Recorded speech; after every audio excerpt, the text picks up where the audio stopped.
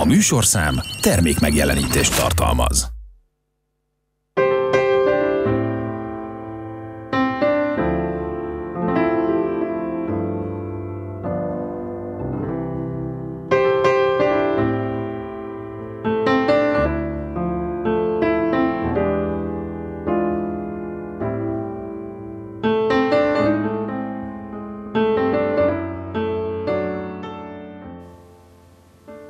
Szép estét kívánok, köszöntöm a Fehérvári Beszélgetések nézőit. Egy ebbe a beszélgetés sorba álmodott szöveggel kezdeném egy olyan idézettel, ami ideillik mindenképpen. A boldogság a tehetségünk gondozásának kreatív folyamatában beérő gyümölcs, amit aztán felajánlunk a világnak. Nos, egy olyan ifjút, egy rendkívüli tehetséget invitáltam meg ma a stúdióba, aki a Z vagy Y generáció tagjaként száguld, illetve száguld vele a világ is. Majd amint bemutatom, addig akkor tudni fogják, hogy miért is tettem ezt hozzá. Vendégem tehát Majoros Levente, majdnem eltévesztettem, látod, üdvözöllek. Ugyanaz. Szervusz. Köszönöm a meghívást. Korán sem véletlen ez a név, hiszen Majoros Robert és Majorosné Szabó Veronika gyermeke, nagyfia, és Majoros Andor pedig értelmszerűen a nagybátyád, akiről azt kell tudni, hogy nem csak az Alba Régia Tánc Együttes kiváló táncosa, hanem a Waiting Room zenekar zenésze, aki emellett a Vasvári Diák Színpad rendezője, illetve tagja, táncos zenész, forgatókönyvíró, rendező, film szakember, rövidesen már mondhatjuk, tekintve, hogy azért hozzátehetjük, hogy a Barátságmozi Mekki Filmklubjának házigazdájaként. No, Erről mind-mindről kell, hogy beszéljünk, ugyanakkor rendkívül fontos az indítatás. Nyilván ez nem a szülőkről szól, de én azt hiszem, hogy, hogy alapvetés, hogy amikor megláttad a napvilágot és elkezdtél folyamatosan a tánccal foglalkozni, ahhoz viszont indítatásként mindenképpen kellett a szülői hát. Igen. Hát alapjáraton amúgy minden ilyen kreatív beállítottságomat szerintem vissza lehet vezetni arra, hogy tényleg így szüleim által egész gyerekkoromban így egy olyan környezet vett körbe, ami ehhez valamilyen szinten hozzátartozott a színpad, hozzátartozott az, hogy én a táncpróbákon ott ülök, hozzátartozott az, hogy elég sok fellépésre jártam, mind később táncosként, de az elején, az elején akár mint megfigyelő, tehát ez az alkotói légkör így valamilyen szinten folyamatosan körbevett, viszont a, igen, az első színpadi tapasztalataim azok mindenképp a tánchoz vezethetőek. Tehát a népi kultúra. Igen. Miként lehet megszó, megszokni azt fiatalként, hogy jószerivel minden a körül forog, ha úgy tetszik, az első időszakban? Voltak olyan pillanatok, amikor azt mondtad, hogy, hogy te azért mást is szeretnél? Hát uh, alapjáraton így uh, annak ellenére, hogy a tánc így elég fontos uh, szerepet játszik az életemben, én soha nem tudtam magam elképzelni, hogy tényleg ez lenne az egyetlen dolog, amivel foglalkoztatnék, valamint.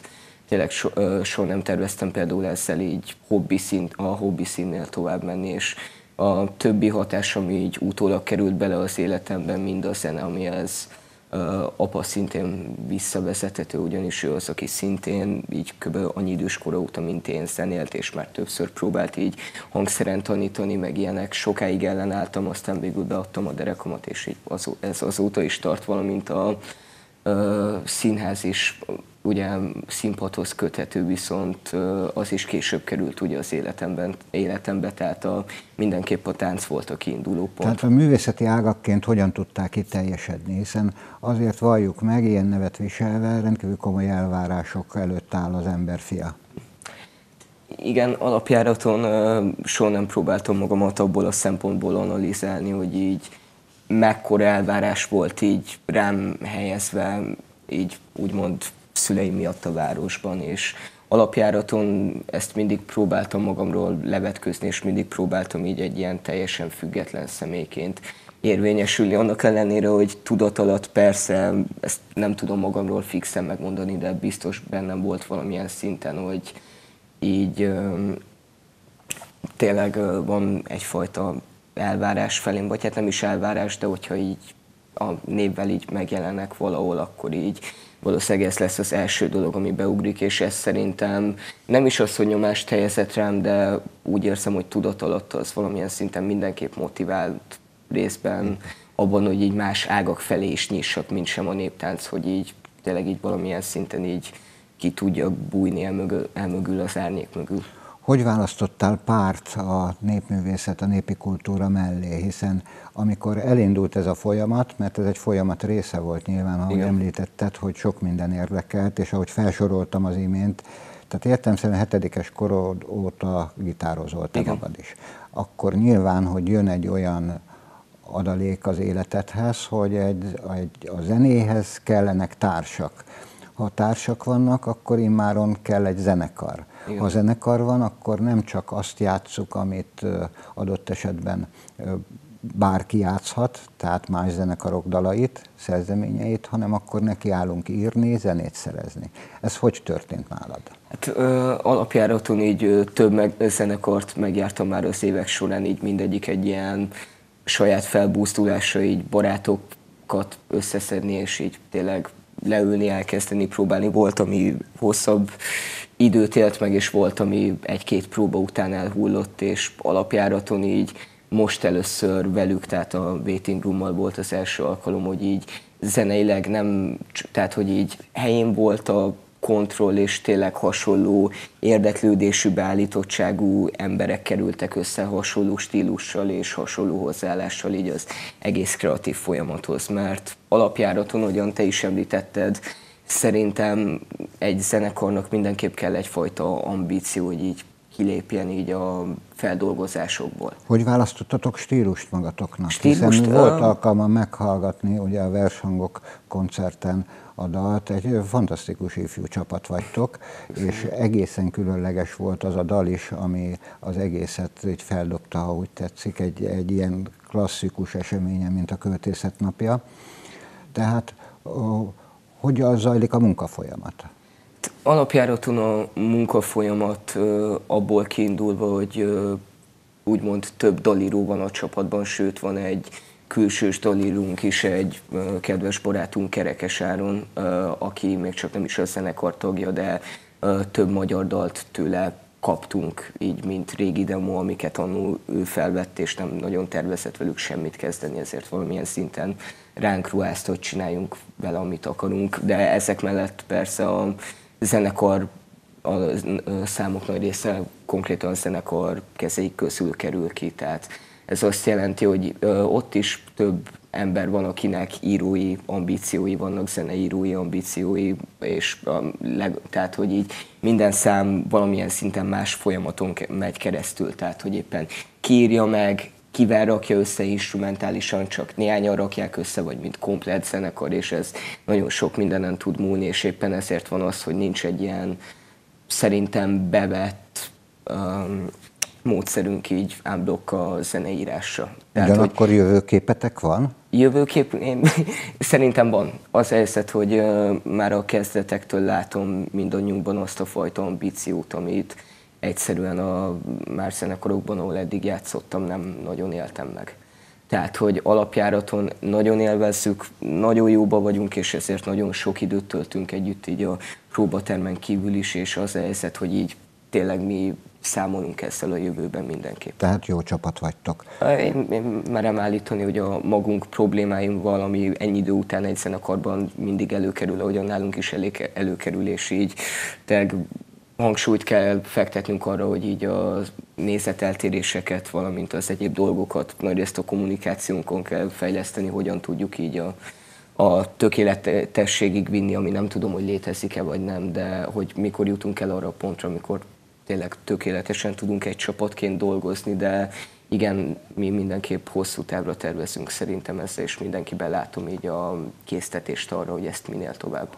Ha már a vershangokról beszéltünk, akkor meg kell, hogy említsem közben azokat a prózai jeleneteket, amelyek ízig-vérig 21. századiak voltak, de mégis felüdülést jelentett abból a szempontból, hogy lám-lám, itt vannak tinédzserek, akik ugye a te vezérleteddel, hiszen te írtad, egy olyan köztes gondolatsorral leptek meg bennünket, ami azt hiszem, hogy elgondolkodtatta akár a felnőtteket is.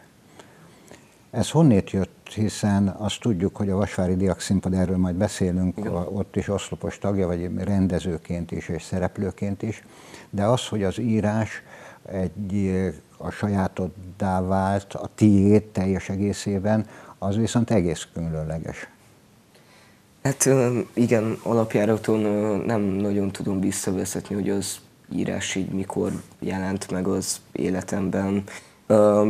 Tehát, hogy azóta már így mondhatni több műfajban próbáltam kipróbálni magam, próbáltam verset írni, csapni való volt, ahogyan erről a jelenet is szól nagy részt, aminek mindenképp vannak ilyen személyes beütései, hogy mennyire nehéz verset írni számomra legalábbis, és hogy az például egy olyan dolog, amit simán feladtam, viszont alapjáraton a dialógusok, és akár színdarabról van szó, akár filmről konkrétan így megírni valamit, ami utána nem csak annyi, hogy valaki elolvassa, hanem a kísérlet, hogy azt hogyan lehet színpadra vagy filmre állítani, és a végtelen lehetőségek, amik egy jó írás mögött rejlenek, ez engem mindig sokkal jobban um, érdekelt, mint sem tényleg egy, legyen szó akár versről, akár regényről, aminek a fő célja mindenképp az, hogy valaki önmagában úgy fogyassza, bármiféle segítség vagy feldolgozás nélkül. De ez már önmagában színház. És a színház, akkor meg kell, hogy mondjam, hogy az Atlantis program kapcsán ugye nagyon is jól tudjuk, hogy a Fehér Holló, tehát a ciszteresek, a Tedi, a Telekis és a Vasvári, ez az alapja, ha úgy tetszik, esett még, még nyilván a, a művészeti szakgimnáziumos csapat nem különben, de én arra figyeltem fel, hogy a tiétek megint egy egyéni és eredeti ötletek alapján készült, egységes teljes egészet alkotott egyik oldalról, és ugye bár ott volt Nagy Judit, ennek ellenére ugye ti rendeztétek Igen. meg ezt, és, és kerek lett ez a történet. Erről beszélj egy kicsit, hiszen e, ilyen fiatalon rend, írni rendben van, hiszen azért aki kellő alázattal rendelkezik, és van indítatása, az írni szokott, akár Igen. mondjuk szerelmes levelet, vagy verseket, de rendezni az egészen más, ahhoz nagyon is egy átgondolt, egy olyan retorika kell, ami nem feltétlenül egy fiatal sajátja. És ti pedig bizonyítottátok, hogy lám-lám mégis. Igen, hát ugye az egész Atlantis programból kiindulva, ez volt a második évem, hogy én ezzel részt vettem, tavaly Nagy Judit rendezésében volt egy Petőfis jelenetünk, és az helyzet, hogy ugye megemlítetted a három fő tehát mondhatni törzs diák színjátszóját a városnak, akik ugyanis tényleg a Teddy a Ciszter, valamint mi a Vasvári vagyunk azok, akik ezeken a programokon kívül függetlenül tényleg állítanak színpadra előadásokat. Viszont az helyzet, hogy számomra az egész idei Atlantis egy akkora pozitív csalódás volt, és annyi iskolánál, ahol akikről amúgy annyira nem hallottam, nem voltam tisztában azzal, hogy miket szoktak alapjáraton csinálni olyan igényes és átgondolt produkciókat láthattam, hogy tényleg így jó érzés volt így köztük lenni legalább a versenyben. Viszont igen, ez volt, ugye a, mi a képmutogatót kaptuk Arany Jánostól, ami egy kevésbé, mondhat, számomra, én például nem ismertem az alapművet még mielőtt így Nagy Judittól készhez kaptuk volna, és az helyzet, hogy leginkább azt láttam benne izgalmasnak, és amiatt gondoltam, hogy ezt tényleg, ahogyan te is említetted, az a fő cél, hogy egy kerek egész alkossunk, hogy amíg egy Velszibárdoknál vagy egy Ágnes asszonynál ugye valamilyen szinten el van engedve az író vagy az alkotó afelől, hogy elmesélje a komplett történetet, mert hogy alapjáraton a legtöbb ember tisztában van az alapkoncepcióval, tudja a cselekményt, és innentől igazából bármilyen irányba elviheti, és én pont ezt találtam izgalmasnak a képmutogatóban, hogy azzal, hogy mi ezt megkaptuk, valamilyen szinten volt egy felelősségünk, hogy ö, tényleg konzekvensen kell előadnunk azt a történetet úgy, hogy úgy üssön, ahogyan az eredeti ballada. És igen, alapjáraton emiatt szükségesnek tartottam, hogy annak ellenére, hogy megtartunk néhány sort az eredeti műből, hogy tényleg ezt átírjuk és dialog, dialogizáljuk, áthelyezzük egy teljesen más szituációba, hogy tényleg egy komplett történet. Lubickoltatok benne. Igen, igen, tehát hogy az írási folyamat egy nagyon hálás dolog volt, A re- és az helyzet, hogy a rendezésnél ugye ezt kell, hogy mondjam. Tehát alapjáraton ez volt életem első rendezése, és hatalmas segítségemre volt, hogy volt egy rendezőtársam, Bence Zoltán, aki jelen pillanatban így a diák színpad mondhatni aktív művészeti vezetője így ebben az évben tehát alapjáraton hatalmas élmény volt tényleg színpadra álmodni az egészet, amit így megírtam, meg amit a fejemben elképzeltem bármennyi változtatással, viszont ez tényleg szükségünk volt arra, hogy legyen egy olyan csapatunk, mint a Vasvári Diák Színpad jelen Ez pillanatban. a tipikus, a semmiből egy új másik világot teremtettem, igen, ugye? Igen, ez volt a fő cél, és amikor már ez az én fejemben őszintén a kezdetektől megvolt, amikor lassan láttam, hogy a próbák alatt így mindenki fejében így megszületik a saját elképzelése a darabról, és így egyre jobban látom, hogy az a vízió, amit mi így elképzeltünk magunknak, így lassan tényleg azt látjuk, hogy működik a színpadon, egy eszméletlen élmény volt. Ez lesz folytatása? Tudom, hogy már a végén jártok a középiskolának, Igen. de azért nyilvánvaló, uh-huh. hogy azért ez tovább vihető. Ja, ez mindenképp, tehát, hogy ahogyan említettem, a, ugye a Bosvári Diák Színpadnak mindig is megvolt egy olyan kreatív hozzáállás, egy olyan szintű szabadság, ami én állítom, hogy más diák színpadoknál a városban még nem nagy, tehát hogy eddig elég sok példa volt diák rendezésre, tehát például tavaly az első évenben Csizma Máté Noellel és Kutasi Bálintal, mint ahogyan említettem, Bence Zoltán rendezésében raktunk össze egy darabot, ami már szintén diákrendezőkről volt szó, és egy teljesen más munkakört, tehát légkört tud megteremteni az, hogyha tényleg diákok rendeznek diákokkal, sokkal könnyebb a kommunikáció, és az elképzelés, tehát hogy valami olyat tudunk csinálni, amit tényleg jó, sokkal inkább a magunkénak tudunk érezni, mintha egy drámatanárról lenne szó. Tehát ez folytatható. Ez Ugyanakkor nagyon-nagyon fontos az életedben a film. Igen. Hiszen kacsingatsz a forgatókönyvírás felé is, és ebben ez egy áttörést jelentett a Barátságmoziban, a Mekki Filmklub. Tehát itt jószerivel valóban kiteljesedhetsz, mondom én, hiszen a filmekről beszélni az mindig azt jelenti, hogy elképzeled, ha te magad csinálnád, ha te írnád a forgatókönyvet, ha te játszanál benne azt a szerepet, amely megragad, és azt hiszem, hogy így ez egy fiatal számára egyik oldalról óriási nagy kihívás, másrészt pedig ez egy olyan megmérettetés, hogy itt lehet hibázni, de nem célszerű. Igen. Milyen volt ez az időszak neked? Amikor felkértek, gondoltad volna el, hogy aztán a, a végén ez teljes egészében a tiéd lesz? Uh, hú, hát uh, alapjáraton nagyon megörültem a felkérésnek, és így az első alkalommal tényleg hatalmas nyomást éreztem magamon, hogy így uh, tényleg teljesítés szempontjából számomra az egész feladatnál így a felkészülésben az volt a legnagyobb kihívás, hogy uh, nekem nem az a célom, hogy a film után kiálljak és elmondjam a véleményemet a filmről, mert azt, azt végül is bárhol megkaphatnák, tehát az nem egy közösségi esemény, hogy egy ember kiáll és elmondja, hogy mi tetszett, mi nem. A fő kihívás az volt, ami miatt nem kritikus, hanem inkább műelemző szemmel kellett hozzáállni ez az egész feladathoz, hogy tényleg nem az volt a célom, hogy a saját véleményemet mondjam annak ellenére, hogy az is benne volt, hanem hogy beszélgetés témákat dobjak fel, hogy így tényleg olyan kérdéseket tudjak feltenni, ami arra ösztönzi a közönséget, hogy ő is átgondolja az adott témát, ő is hozzászóljon a filmhez, ezzel valamilyen szinten megalkossa a saját véleményét így a, a látottakról. A, ebben segített az, hogy például a koronázás ünnepi játékokon már volt egy olyan film, amit ti csináltatok, ugye a második András, a középkori élő sakra gondolok. Ja, igen, a, ugye, igen, ott Matusz János rendezésében ugye ott is lehetőség. Tehát játszottál egyik oldalról, másik oldalról az a film, az a tiétek? Igen, volt. az a helyzet, hogy a, igen, a, az élősakkos uh, filmnek alapjáraton elég nagy hangsúlyt fektettem legalábbis. A, visszanézve szerintem az előadás szempontjából elhanyagolható volt, valamint őszintén nem is vagyok elégedett a munkámmal, amit ott nyújtottam így a filmes szempontból, de alapjáraton első tapasztalatnak mindenképp jó volt hogy így tényleg lehetőséget kaptunk arra, hogy leforgassunk valamit, tehát hogy egy kész alapanyag köré vizuálisan megpróbáljunk felépíteni valamit. Nagyon jó feladat volt, én nem vagyok elégedett a végeredmény előszintén, ezt akár Motusz János is meg tudná um, erősíteni, de igen, tehát, hogy első tapasztalatnak amúgy mindenképp jó volt. De nincs kétségem felőle, hogy igenis vannak vízióid. Igen. Sokféle. Tehát a filmkészítés a terv. Amikor arra gondolok, és itt most hadd ne soroljam fel megint azt a sokszínűséget, ami téged jellemez, hogy rövidesen pályaválasztás előtt állsz. Igen.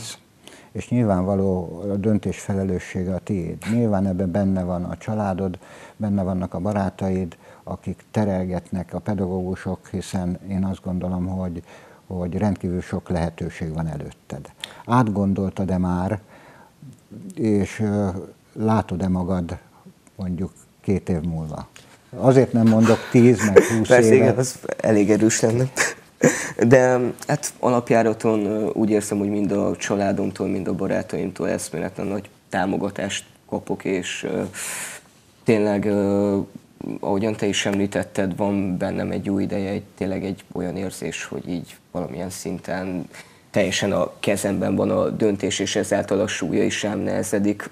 Viszont az a helyzet, hogy onnantól, hogy én bármilyen szinten így elkezdtem így alkotóként tekinteni magam, bár, magamra bármilyen felszínesen is hangzik, nekem az fő elképzelés az mindenképp a film volt, és emiatt gyanítom, hogy így a filmes irányban próbálok jövőre, vagy hát két év múlva tovább tanulni, vagy a forgatókönyvírás, vagy a rendezés irányába. Tehát a mélység az megmaradt mindenképpen. A mélység egyik oldalról a tánc iránt, hiszen azt Igen. nem lehet elfelejteni, a zene iránt, hiszen a zene kapcsolódik társművészeti ágként mindenképpen, mindegy, hogy milyen zene, de zene legyen. Igen a filmek pedig ott van, hogy napról napra, vagy hétről hétre megmérettetheted magad a barátságmoziban, és emellett nyilvánvaló, hogy folyamatosan fejlődsz.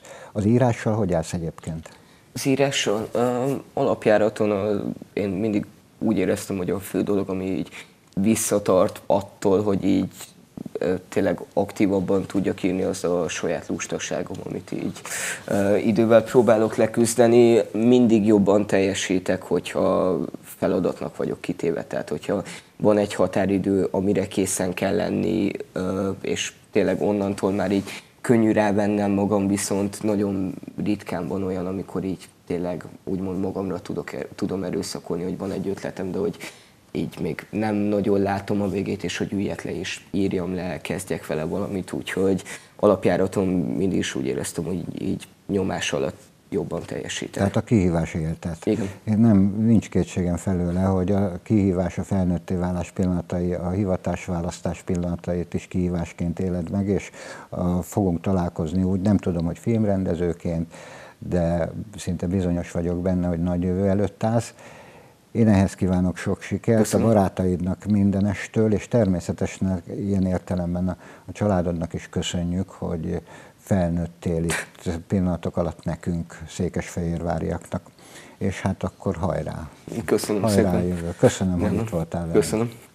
Kedves nézőink, Majoros Levente volt a vendégem, aki az, a különböző alkotásaival az elmúlt időszakban elvarázsolt bennünket. Köszönöm megtisztelő figyelmüket, viszontlátásra!